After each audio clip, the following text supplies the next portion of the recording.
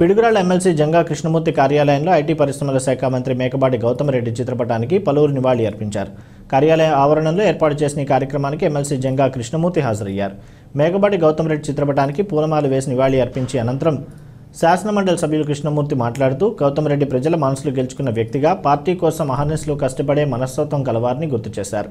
ఈ కార్యక్రమంలో ZPTC Janga Kotaiah MPP Mudala Ramanamma Subbareddy Sheikh Sharif Kokkera Kondalu Shanampudi Srinivasa Reddy తదితరులు పాల్గొన్నారు.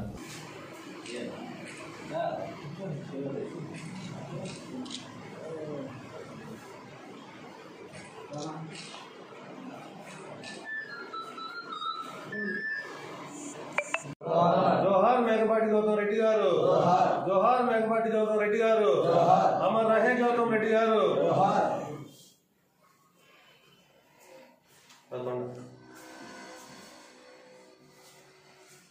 రాష్ట్ర ఐటీ శాఖ మంత్రులు మేకపాటి గౌతమ్ రెడ్డి గారి యొక్క మరణం రాష్ట్ర ప్రజానీకాన్ని కలిసివేసింది.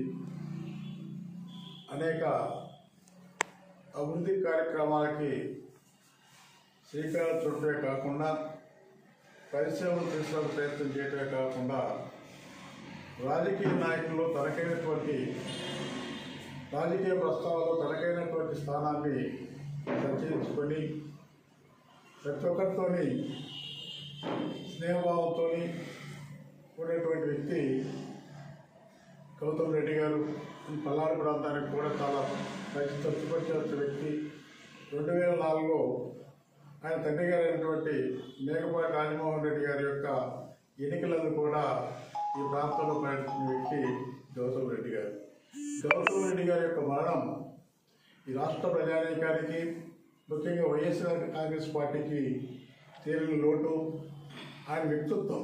ఎందుకంటే అందరితో వివాదరహితమైనటువంటి వ్యక్తి గౌతమ్ రెడ్డి గారు.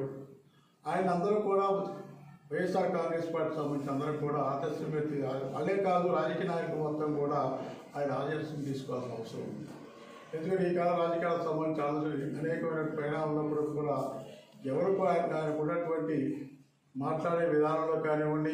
పలు దేశాల నుంచి కూడా పరిశ్రమలు తీసుకొచ్చేసి జగనన్నకి తోడుగా రాష్ట్రానికి ఆదాయం వచ్చేదానికి ఉద్దేశంతో ఆ రోజు ఇచ్చేసి ఆయన ఈ వీళ్ళు మన మధ్యలో లేకపోవడము పార్టీ కానీ మా పల్నాడు కానీ నెల్లూరు జిల్లా కానీ చాలా బాధాకరంగా ఉంది. దానివల్ల రాబోయే రోజుల్లో కూడా వాళ్ళ కుటుంబానికి మా పార్టీకి లోటు సమ్మ తీరని లోటు కాబట్టి దేవుడు కూడా ఆ కుటుంబానికి పెద్ద అయిన మేకపేట రాజమోహన్ రెడ్డి గారికి పార్టీ కూడా అండదండగా ఉంటుంది. కా- రాబోయే రోజుల్లో కూడా ఆయన రాజమోహన్ రెడ్డి గారు ఆయుర్వేదికాలతో ఉండాలని కోరుకుంటూ ఆయన తీరిన చనిపోయిన గౌతమ్ రెడ్డి గారి ఆత్మశాంతించాలని కోరుకుంటూ సెలవు తీసుకుంటున్నాం.